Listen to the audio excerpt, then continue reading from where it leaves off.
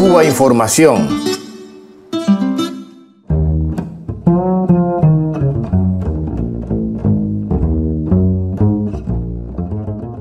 Son muchos miles de dólares lo que recibe la disidencia cubana desde las agencias gubernamentales de Estados Unidos.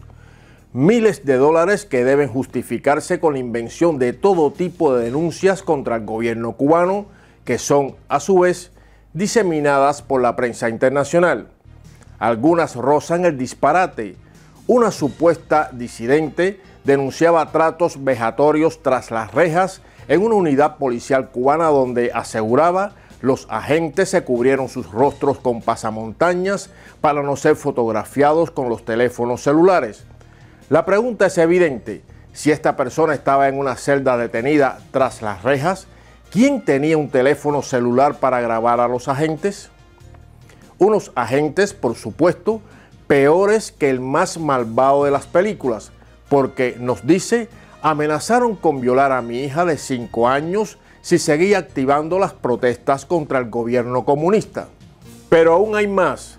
Para acabar el relato, la disidente asegura que un capitán de la seguridad del Estado que transitaba en una motocicleta se bajó de esta y con su fusil me golpeó más de 50 veces en mis partes íntimas para que me sirviera de escarmiento. Primero, ¿Alguien ha visto en Cuba a un policía en una motocicleta con un fusil en la mano? Segundo, ¿cómo esta mujer no fue hospitalizada? Ni presenta marca alguna después de más de 50 golpes de culata. Así es la extraña dictadura cubana, donde los disidentes viven sin trabajar, reciben dinero de una potencia extranjera y viajan por todo el mundo, contando historias tan hilarantes como esta con semejantes opositores políticos a la revolución cubana, no cabe ninguna duda, le quedan aún 500 años de tranquilidad política.